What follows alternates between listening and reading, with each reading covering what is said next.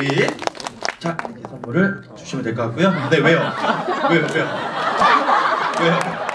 왜 싫다고? 아유 그래요. 그래요. 뭐 인생 뭐 있어. 네 포스터까지 네 주시면 좋을 것 같고요.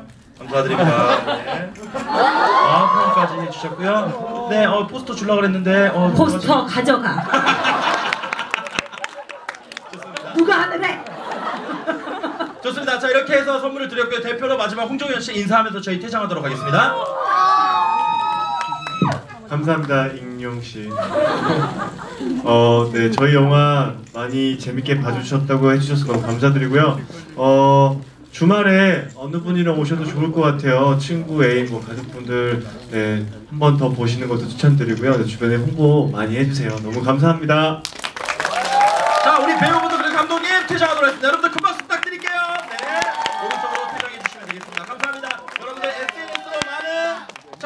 재밌어. 대박 이게 뭐 생겨는 투 대박 예 감사합니다.